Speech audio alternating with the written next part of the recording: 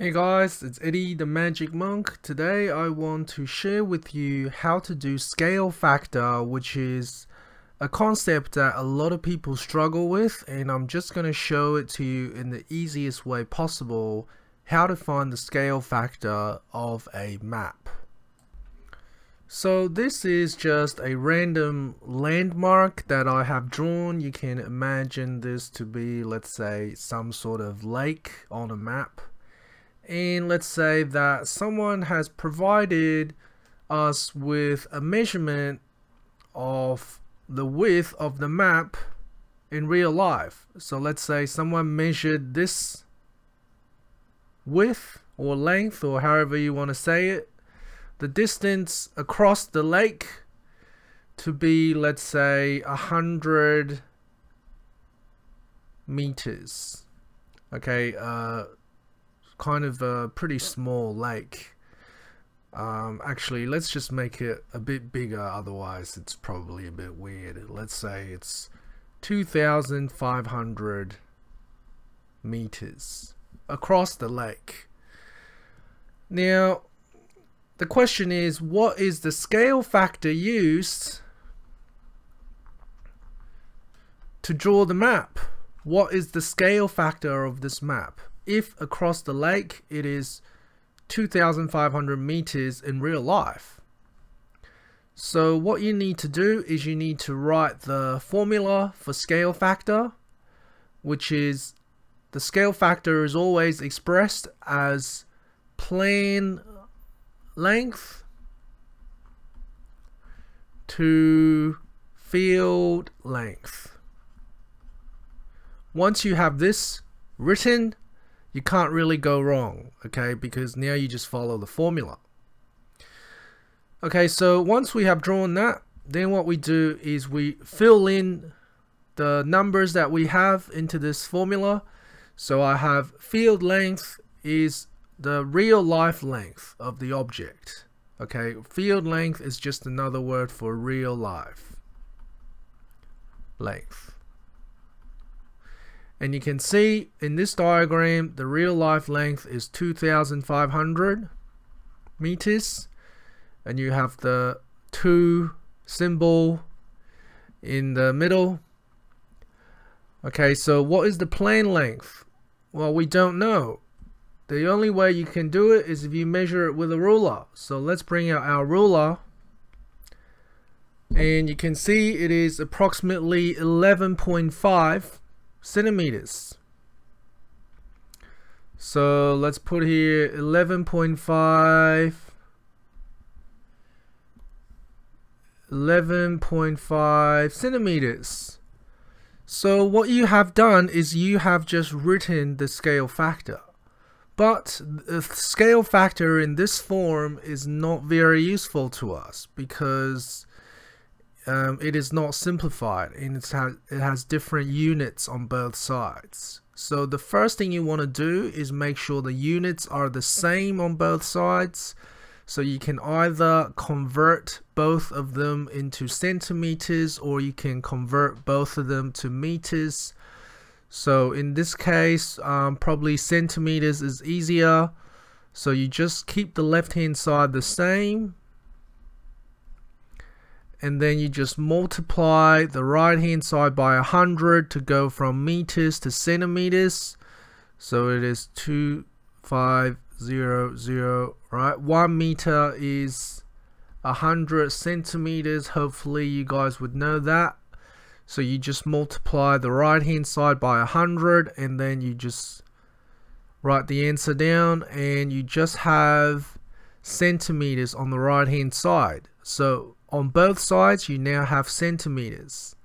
When you have the same units on both sides, then you don't have to write the units anymore. So you just write 11.5 to um, 250,000. Okay, so that is nearly simplified. Uh, now what we want to do is we want the left hand side to be equal to 1. So on the left hand side, to go down to 1, what I need to do is I need to divide both sides by 11.5 divide both sides by 11.5 and then I will have 1 2 and then I just put that into the calculator. So I put in the calculator 250,000 divided by 11.5 and I have 21739 so let's write that down. 21739.13 So that is the final answer. So you might say, well, so what? I found the scale factor, so how does that help me? Well, let's say now if someone says, okay, well, what you found the width or you found the length of the lake, what is the distance for the width of the lake? So what if I want to know the distance from, let's use another color. Let's say I want to know the distance from here vertically down to here. What if I want to know this distance? Well, originally this wasn't provided, but now with the scale factor, what we can do is we can now again measure it with the ruler. Okay, I'll just uh, move the ruler to the right place. So it's about 5.5 centimeters. So again, I want to write down the formula, plan length to field length.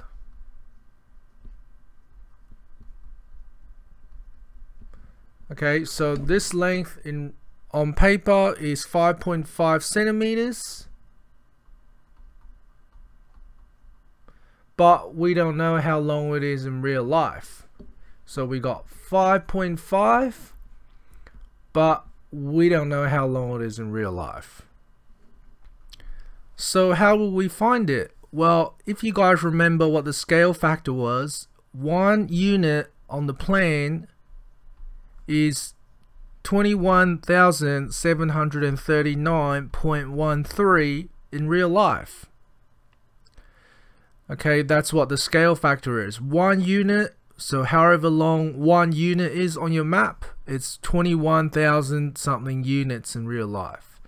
So if I want to know the field length, of this um, width of the lake, I just simply multiply 5.5 by 21739 right? Because from 1 to this number you would multiply by 21739 so you're going to do the same thing to 5.5 multiply by 21739 okay so let's put that into the calculator so we have 21739.13 times 5.5 and I have 119565.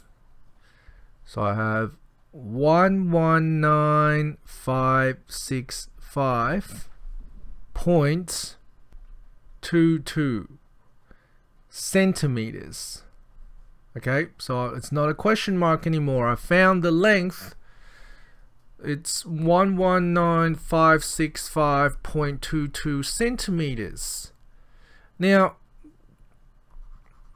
so that is the uh, width of the lake, but we have the length of the lake expressed in meters. So it sort of makes no sense if you have meters on one side, centimeters on the other side. You want to try and make it consistent. So I'm going to convert from centimeters to meters. And if you guys remember, one meter is a hundred centimeters. So to go from meters to centimeters, you would multiply by a hundred. But if you want to go backwards, you would divide it by 100. If you want to go backwards, you divide it by 100. So that's what I'm going to do to this. If I divide this by 100, then I'm going to get 1195.65 meters rounded rounded to 2dp. If you round to two decimal places, it's better to say that in your answer. Okay, thanks for watching guys. See you next time.